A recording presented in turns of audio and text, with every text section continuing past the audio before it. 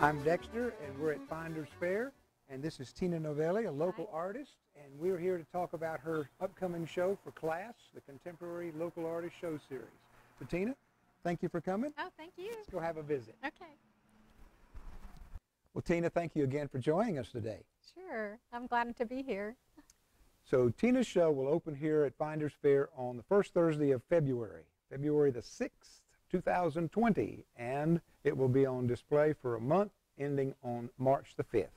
So, Tina, you went to school in San Antonio and got a Bachelor's of Arts degree Right. at Trinity, Right.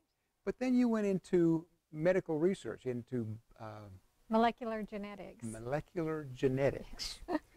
and um, your original goal was to, to get into medical research. right. Well, me- and medical illustration. I thought Medical I would go into that.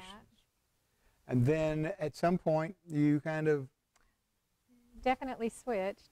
switched um, over from- or I mean, of. I, I love doing research, but I kind of fell in love with watercolor and started painting more and still keeping the details focused in my work. well, I was going to say watercolor is kind of a Mm, loose, Loose. medium, and, and you like the details. Right. I I love building up to the point where I just put tons of detail on each one of my pieces. Well, and this painting is kind of a landscape. This is a landscape. It's a little looser. This is West Texas.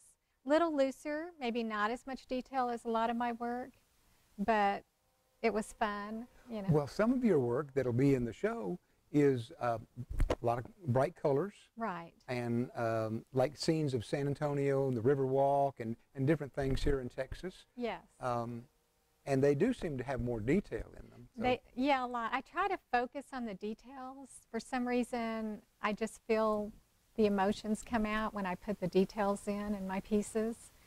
Um, I'm calling this set of paintings uh, the Heart of Texas. Heart of Texas. And I think it just shows, you know, I'm proud to be a Texan, like most of us. Amen. Amen, exactly.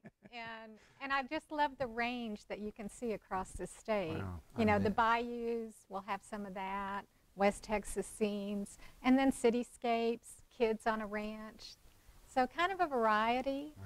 But just showing my love for this great state. Well, I'm excited that we're going to be able to show her love for the state of Texas uh, at our show, our class show, Contemporary Local Artist Show Series. Again, it's going to open up the first Thursday of February. That's the 6th. And it'll be on display for a month. We're so happy that you watched us and listened to us and, and hope you'll come out and meet Tina. Um, she'll be here from 5 to 9 that opening night. So please come and visit. Thank you very much, Tina, for coming. Thank you so much.